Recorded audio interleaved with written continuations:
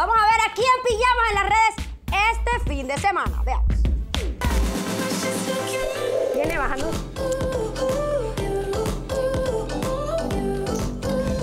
¡Se casaron! Resulta que el productor Mista Bombo se casó con su pareja Yari Milán este fin de semana.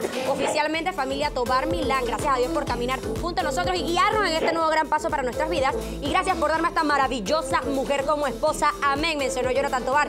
Felicidades y lluvia de bendiciones para ambos.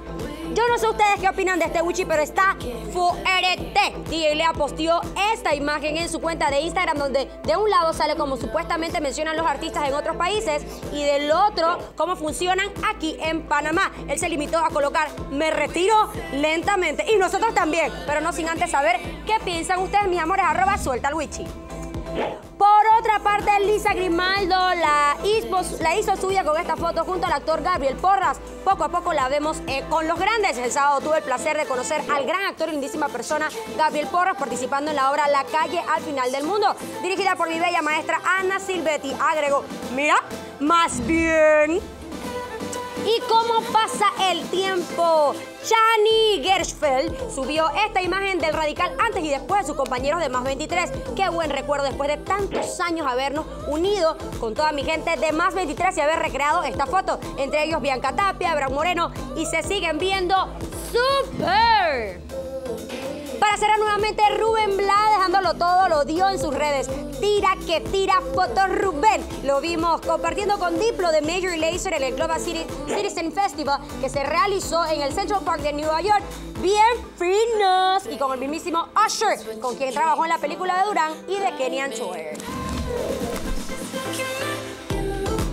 El Yo quedé realmente impactada con la imagen de antes y después de los chicos en más 23, Porque más para de todo. Por eso para bien, porque yo recuerdo cuando más 23 inició, era el canal top de música de Panamá boom. y ellos eran los máximos De de máximos, máximos. sí.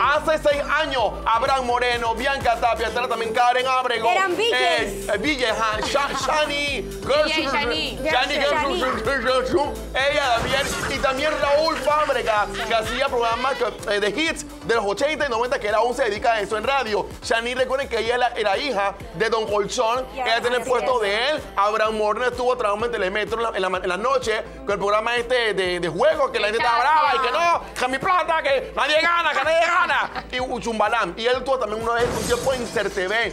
eh, y se fue allí. Y me falta alguien en la foto. Bianca. Bianca Bianca Tapia Tapia. sigue con su agencia de baile. Él, tiene- de baile. tiene una, exacto, una locutora, escuela ¿no? de baile, de danzas. Sí. Bueno, y a mí, a mí me llamó mucho la atención fue la publicación de lo de los artistas, porque me, me- la- honestamente sí tengo que decir que yo por mi parte con otros amigos del, del género pop, no sé qué, muchos se apoyan un montón y a mí me ha llamado la atención que fuera de Panamá me han dicho otros artistas y que qué bonito que en Panamá los artistas se, se chotean para hacer featuring y demás, así que honestamente esa no es mi percepción del artista panameño.